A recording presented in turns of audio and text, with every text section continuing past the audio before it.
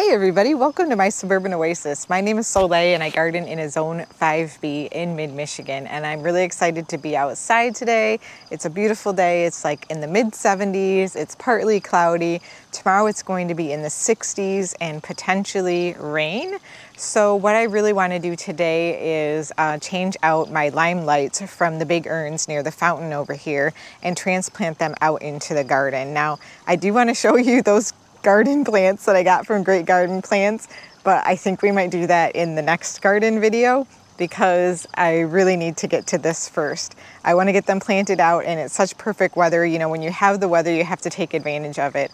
Um, definitely look for overcast days, days when rain is in the forecast, and that's exactly what we've got. So I think I'm gonna go turn the fountain off because it might splash on me a little bit as we work in this area. And then we will dig in and start cutting these um, limelights out of these pots. All right, let's get going. So today you might notice I'm wearing some sleeves. I'm trying out these sleeves from Farmers Defense. They sent these out to me to try and I thought this would be the perfect video for them because I'm going to be digging. I want to protect my arms from, you know, all of the foliage as we do that and um, definitely where we're going to be planting also. It's not sponsored, it's not a sponsored video or anything. I don't even really have a opinion on these yet. I'm just starting to try them out. What they say is that they have a UPF in them to protect you from the sun and that they also protect you from scratching. I wish kind of that they had built-in mosquito protection as well for me in Michigan, but I guess that's not possible. So I'm just gonna cut around this limelight using uh, my root slayer shovel. It has a really nice cutting edge on it, which makes it quite convenient for doing this. And I find I can get a little bit more leverage with this than I can with just my hori hori knife when I'm trying to work with shrubs that might have good root systems. And I don't know, these have only been in this pot for like a couple months maybe. So they might not be very rooted in. And hydrangeas do tend to have fairly shallow roots, but these were really large. Um, these were really large plants to start with, so they had really large root balls. I don't think it's going to be an issue getting them out though. I want to leave these potato vines in because I want to replant these pots with something for fall after I get these out. Maybe not today, but I definitely would like to get something in them that's kind of more for fall and winter.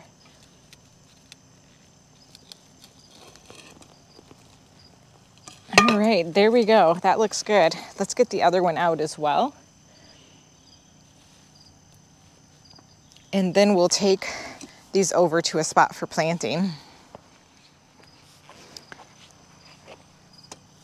I'm taking these little strange terracotta things out. These are supposed to be like oyas, which you fill up with water. I bought them for when I went on vacation and I'm not sure they were large enough to do anything, but you know, with my sister watering and everything, I don't really know because everything was fine when I came back. So either they helped or it was just my sister's watering that did the trick.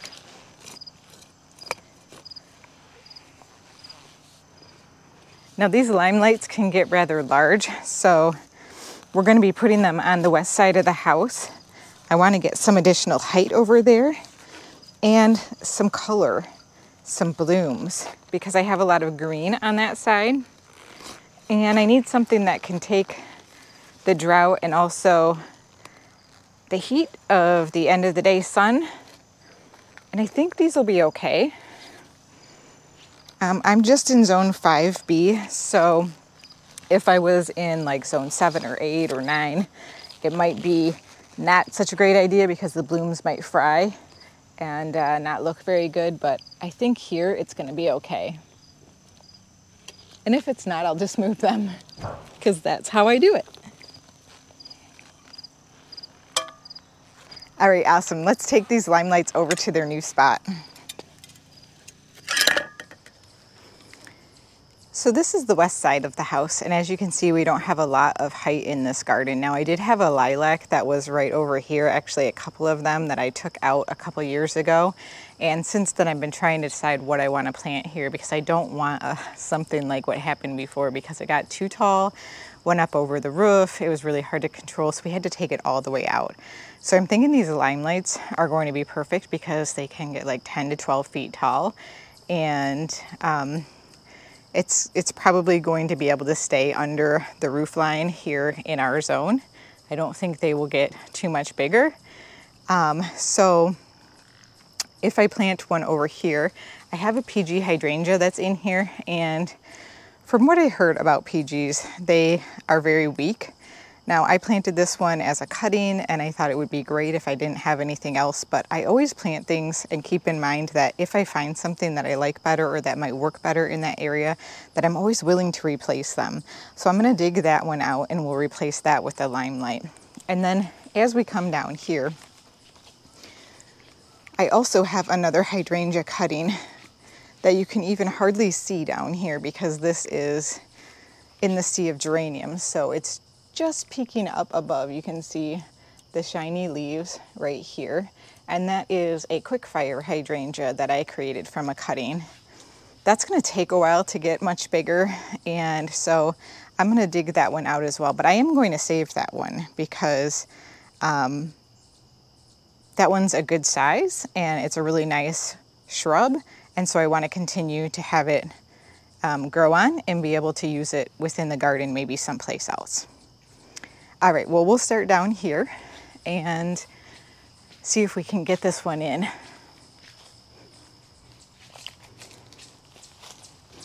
Here we go. Now, there's lots of lily of the valley in this garden bed, which I don't care for. And also while I'm at it back here, I'm gonna take this euphorbia out, which probably self-seeded.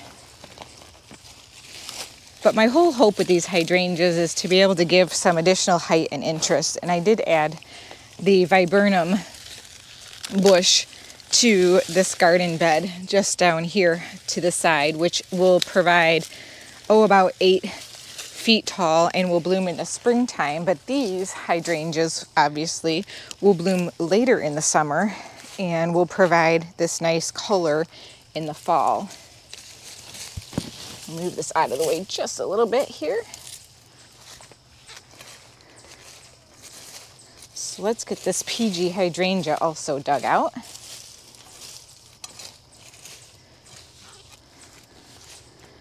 And I'm going to be careful to try to plant this uh, in a situation where it's out from the root line. So right about where this PG hydrangea has been planted should be the perfect spot still. But this limelight hydrangea definitely has a really large root ball. So I'm going to need to do a little more digging, I think.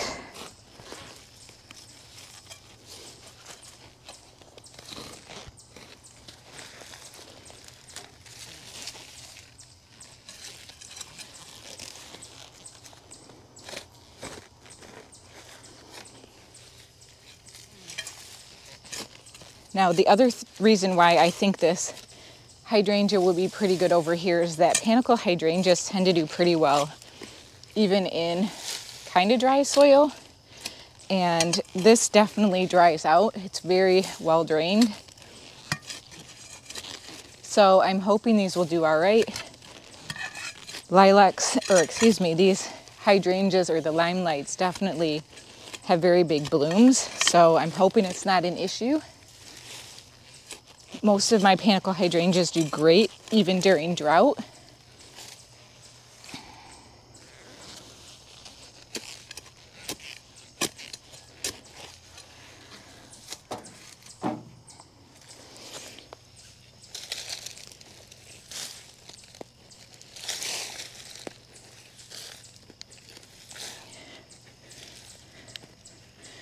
The soil right now is not very moist.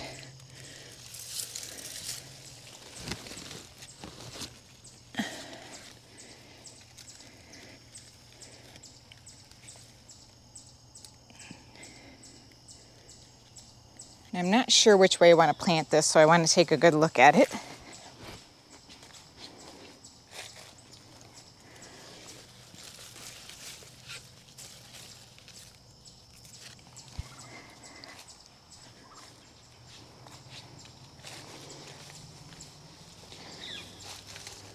I think that's pretty good. I think it adds quite a bit of height to the garden. Now, as I am putting this in, I want to lift it just a little bit higher. So I'm going to put a little bit of soil back in the hole because I don't want to bury it.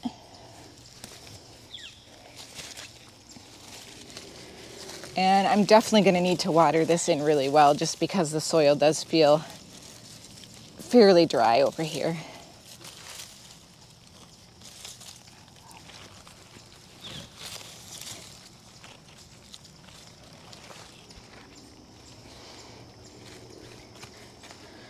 I want to make sure as I'm packing this soil in that this is really standing nice and upright.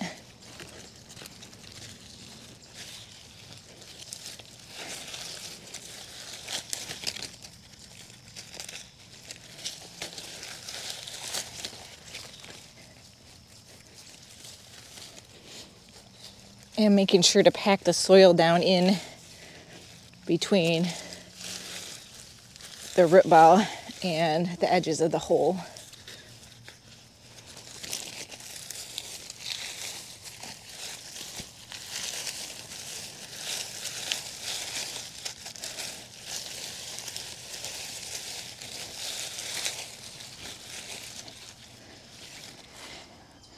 Right, I think that looks great. Let's get it watered in now.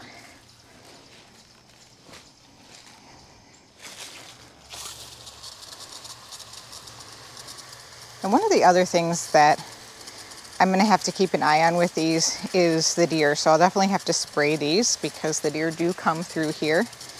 Um, we get a lot of deer in the garden. Somebody actually commented about the way back garden and how nice it would be if I had the ability to open up my back garden to the space that was in the way back, but I just don't. If I did, I would be stuck with the deer eating pretty much everything. We literally get herds of deer coming through here.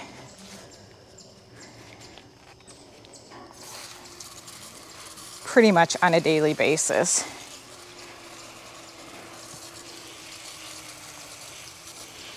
So I'm just going to really soak this extra good because of the fact that I can tell that the soil is dry and I really want to help the soil settle in around the roots of this. This is one of the type of panicle hydrangeas that I'm also going to cut the blooms off of when it comes time in the winter because while they look really pretty right now and could provide nice winter interest, once it starts getting ready to snow or when it rains and freezes to ice, the panicles can actually get really, really weighed down, even more so than it does with rain. And then it can just simply snap the branches off, which is no good for the whole shrub, obviously.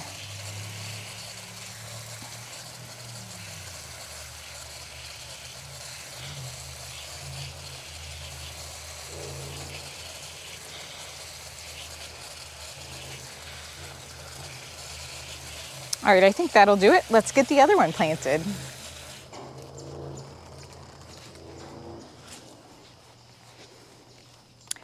You won't hear me say this very often about planting, but I'm actually kind of nervous about planting this one because this is where the lilac roots are, and I'm not really sure if I'm going to be able to have enough space to dig for this root ball. So I'm really crossing my fingers that this works, you guys.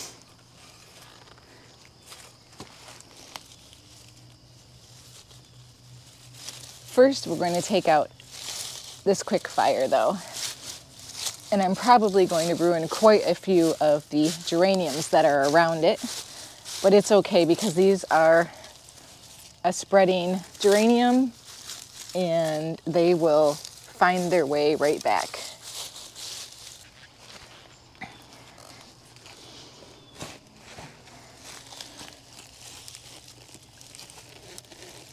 So this has been in here for about two years. This being its second year, and it looks like it's developed a nice set of healthy roots. But it definitely needs some more time to grow on. That's pretty nice for a cutting, isn't it? All right, we'll set that one aside. Let's get this hole dug.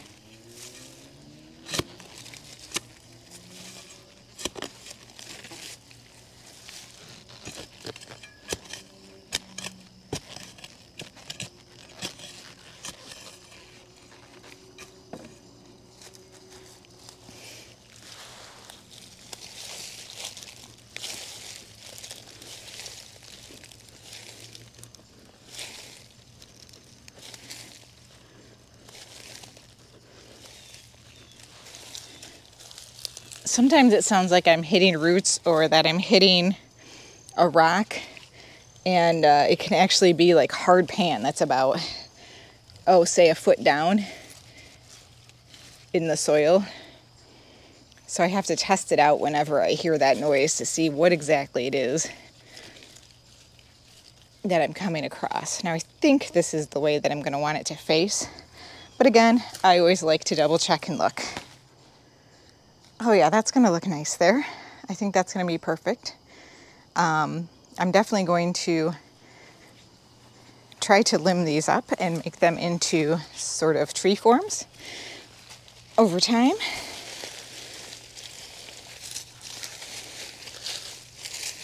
I think that'll be really nice.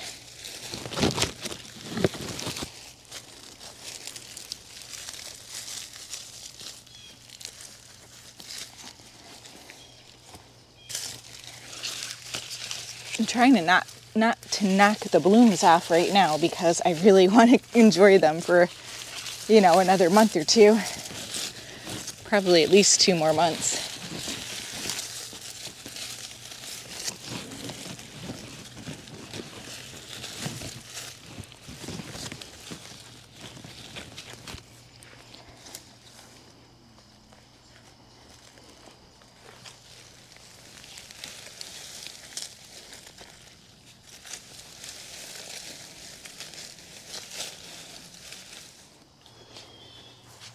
I have a little bit of wood chips that are left over from another project that I did, so I'm going to use those to top dress these.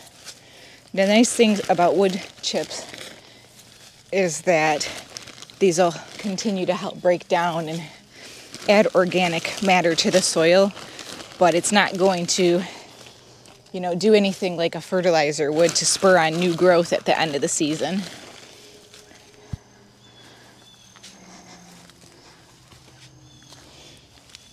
So I'm just adding a couple of inches. I know you can't see down in here, but I'll give you a shot after I'm done. Just a couple inches of it around the base of the plant, making sure that the crown of the plant isn't buried. So here's what that looks like. Nice and rich brown organic material for the top of it. Let's get it watered in. I actually had forgotten that I have this mulch. So now that I remembered, I'm going to add some to the other hydrangea as well, of course.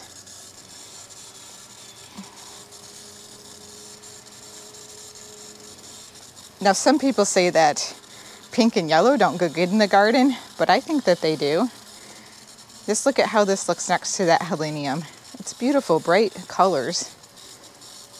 There's even some flowers that have pink and yellow in them.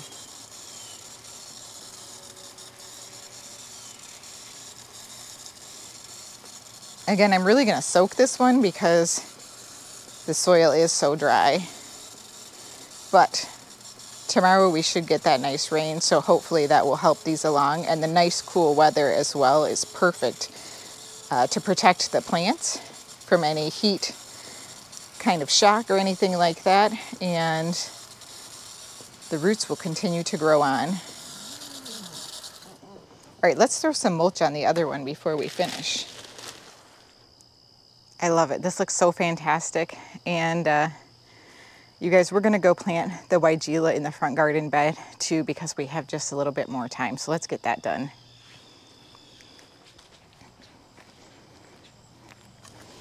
All right, I chose this Weigela, which is a spilled wine Weigela for the end down here because it should get about two feet by two feet wide. So I think it would look really nice on the end.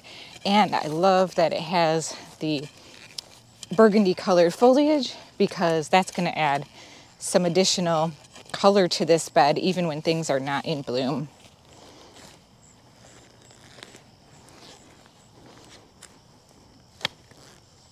That's something that I let people know a lot about things that I've learned during gardening is how important foliage is to the garden, what it really adds, especially when things are out of flower.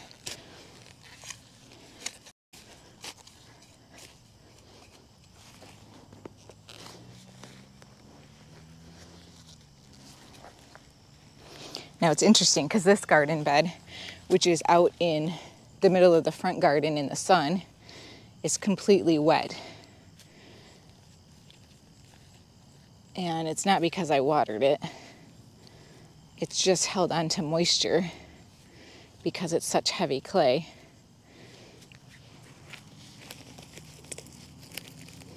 Now I have a little bit of a another plant that's kind of planted itself as a volunteer in this container, and that is the Angelina sedum.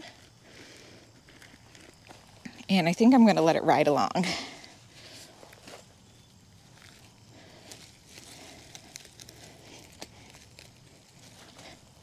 I kind of like the contrast of it with the Weigela.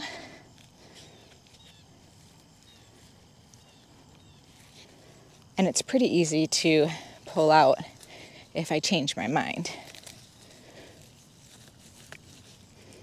It's also not very aggressive in my experience with it so far in terms of its growth.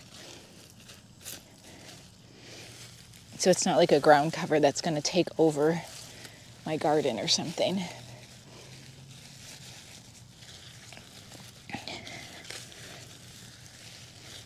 Now, Weigela are pretty deer resistant, at least that has been my experience so far. Hopefully, they continue to be for me. I am going to, though, get the hose out. And even though that soil was nice and moist, I'm still going to water this in because the plant itself that was in the pot was not moist, it was dry. So I don't want it to, you know, have some transplant shock. So we're gonna get this soil moist and uh, finish it up.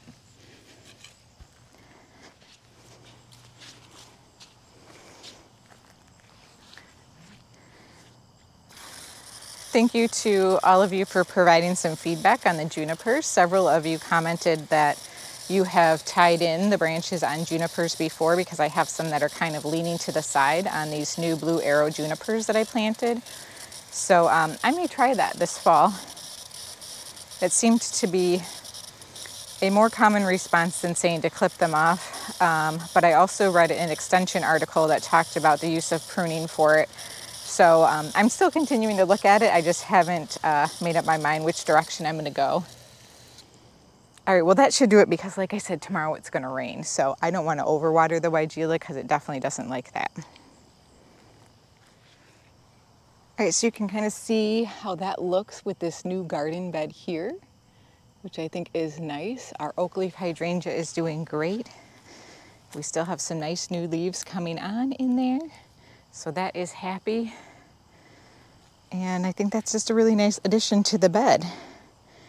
And as we turn to walk this way and take a look at what we did over here, you can already see the hydrangeas from afar and then peeking out over the other foliage. So I'm really excited that we will have three plants in this garden bed between these hydrangeas and the viburnum that is next to the air conditioning unit that will start to provide a great deal more height in this garden bed and much more interest, I think.